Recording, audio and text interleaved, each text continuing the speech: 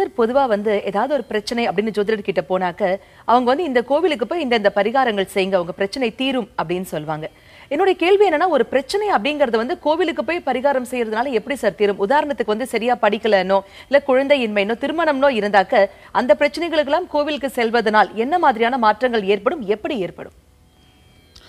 மிக விரிவாக பதில் சொல்லக்கூடிய ஒரு கேள்வி. எனக்கு நீங்கள் கொடுத்துருக்கிற இந்த ஒரு மூன்று நான்கு நிமிடங்களில் சுருக்கமாக இந்த கேள்விக்கு பதில் சொல்லிட முடியாது.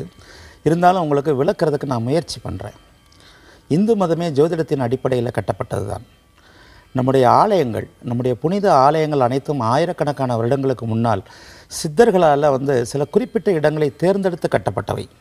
ஆகம விதிகளின்படி. அதாவது மற்ற புனித மார்க் மார்க்கங்களின் பிரார்த்தனை செய்யும் இடங்களை ஒரு விதிகளுக்கு அப்பாற்பட்டு கட்டும்போது இந்து மதம் மட்டுமே ஆகம விதிகளை கோவில் ஆலயம் அமைப்பதற்கும் விதிகளை வகுத்து சொன்னது. உதாரணமாக ஒரு இடத்துல கோவிலை கட்டுவதற்கு முன்னால் அந்த மண்ணை சுவைத்து பார்ப்பார்கள்.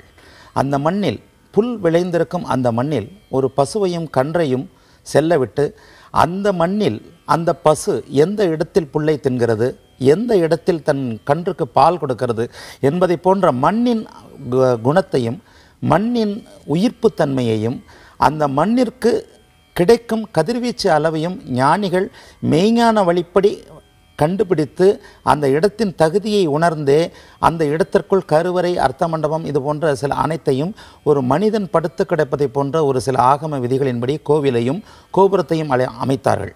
கோபுரத்தின் தாத்பரியம் என்று நீங்கள் பார்த்தீர்களானால் நம்முடைய இந்து மத ஆலயங்களின் கோபுரம் ஒரு தீச்சுடர் போல தீப்பிழம்பு போல இருக்கும். அதாவது இப்படி ஒரு தீப்பிழம்பு போல. அதாவது உங்களுடைய பாவங்கள் அனைத்தையும் சுட்டெரிக்கும் விதமாக.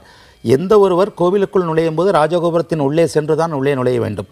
கோபுர வாசலின் தாத்பரியம் ஒரு அதில் உள் மறைந்திருக்கும் அமைப்பு என்னவென்றால் ஒரு தீப்பிழம்பை போல தோற்றமளிக்கும் ஒரு கோபுர வாசலின் வழியாக உங்கள் பாவங்கள் நீங்கள் செல்லும்போது உங்களுடைய பாவங்கள் சுட்டரிக்கப்படுகின்றன என்பதுதான் ராஜகோபுரத்தின் தத்துவமே கூட.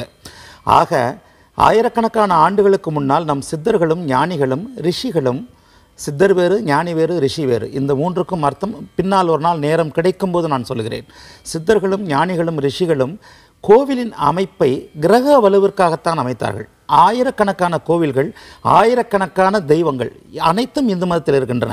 ஒன்றே குலம் ஒருவனே தேவன் என்று இந்து மதம் வலியுறுத்திய போதும் சிறு தெய்வ வழிபாட்டையும் விதவிதமான தெய்வ வழிபாட்டையும் இந்து மதம் ஆதரிக்கிறது. இந்து மதம் அனைத்துத்தான் செல்கிறது. அதற்கு காரணம் இந்த கிரக வலுக்களே.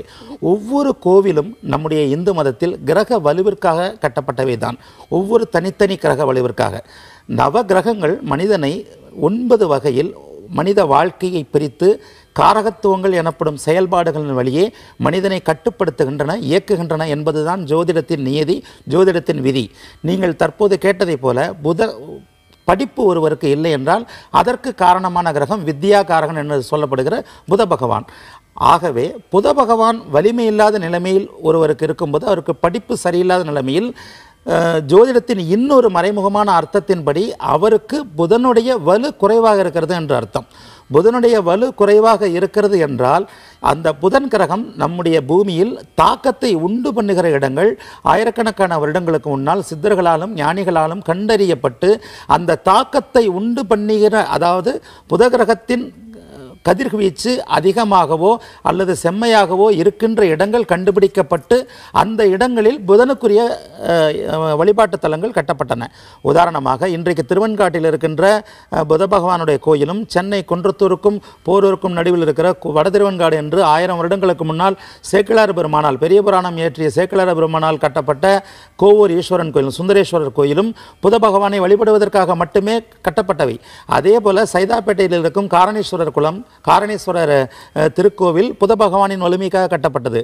ஒவ்வொரு கோவிலும் ஒவ்வொரு கிரகங்களின் வலுவிற்காக வலுவிற்காக அந்த கிரக வலுவை நீங்கள் பெற்றுக்கொள்வதற்காக கட்டப்பட்டவை என்பதால் நீங்கள் உங்கள் பிரச்சனைக்கு காரணமான ஒரு கிரகம் வலிமை இழந்திருக்கும் நிலையில் சரியான ஒரு ஜோதிட ஆலோசனையின் மூலம் பரிகாரம் என்ற பெயரில் அந்த கிரகத்தின் வலு உள்ள கோவிலுக்குள் நீங்கள் சென்று குறிப்பிட்ட நேரங்கள் பரிகாரத்திற்கும் நேரங்கள் விதிக்கப்பட்டிருக்கின்றன.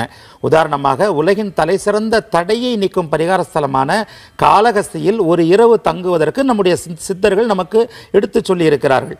அதே போல ஒரு இரவு ஒரு ஜாமம் எனப்படும் இரண்டரை மணி நேரம் ஒரு முகூர்த்தம் எனப்படும் நாற்பத்தெட்டு நிமிடம் ஒரு நாழிகை எனப்படும் இருபத்தி நாலு நிமிடம் என உங்களுடைய பிரச்சனைகளுக்கு காரணமான கிரகங்களுக்கு கிரகங்களின் வலுவை கூட்டும் அல்லது குறைக்கும் ஆலயங்களுக்குள் நீங்கள் இருக்கும்போது மட்டுமே அது பரிகாரமாக செயல்பட்டு ஒரு மருத்துவத்தில் நீங்கள் மருந்து சாப்பிடுவதைப் போல செயல்பட்டு உங்களுடைய பிரச்சனைகள் குறை குறைகின்றன என்பதே தான் இந்து மதத்தின் ஜோதிடத்தின் தாத்பரியம் ஜோதிடத்தின் எடுத்து நெறிமுறை.